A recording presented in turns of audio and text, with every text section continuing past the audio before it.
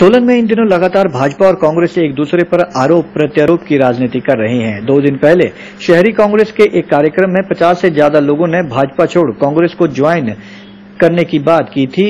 वहीं अब इस बात को लेकर भाजपा ने अपना पक्ष रखते हुए कहा कि कांग्रेस के ही लोग एक दूसरे को माला पहनाकर कांग्रेस ज्वाइन करवा रहे हैं। बात रखते हुए भाजपा मंडल अध्यक्ष मनोज ठाकुर ने कहा कि कांग्रेस एक डूबती नैया की तरह है। सब लोग कांग्रेस पार्टी का हाल जानते हैं। ऐसे में कौन चाहेगा कि वे डूबती नैया में अपना पैर रखकर उसकी सवारी करे? उन्होंने कहा कि कोई भी भाजपा का कार्यकर्ता भाजपा छोड़ कांग्रेस में शामिल नहीं हुआ है।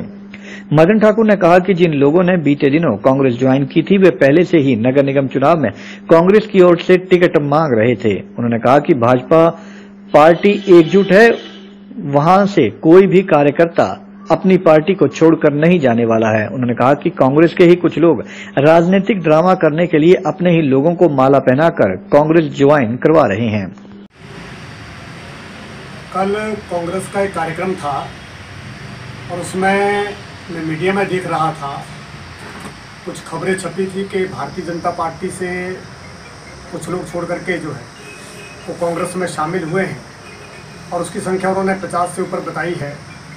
लेकिन मैं कहना चाहता हूँ कि भारतीय जनता पार्टी से कोई भी भारतीय जनता पार्टी का कार्यकर्ता जो है वो भाजपा छोड़ करके कांग्रेस में नहीं गया है। ये कांग्रेस का ड्रामेबाजी काफ़ी दिन से चल रही है। इनका विधायक मिलन कार्यक्रम काफ़ी दिनों से चल रहा है। तो उसमें इन्होंने जो ड्रामा कर रखा है वो ये है कि कांग्रेस के लोग कांग्रेस को ही माला पहना करके उनको ज्वाइन कर देते हैं और ऊपर से कहते हैं कि भारतीय जनता पार्टी के लोग उसको ज्वाइन कर रहे हैं।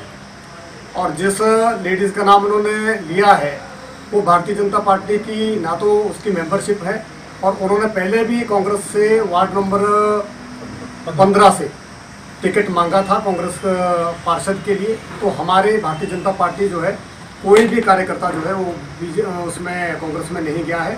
भारतीय जनता पार्टी कांग्रेस ज्वाइन नहीं करेगी और हमारे कार्यकर्ता जो है, अपनी पार्टी में ही है। और कांग्रेस तो वैसे भी अब पूरे देश में जो कांग्रेस का हाल चल रहा है, आपने देखा है, वो सबको पता है तो डूबती नैया में कौन जाएगा? ये सिर्फ़ ड्रामा है और ड्रामेबाजी में बड़ी मशहूर है।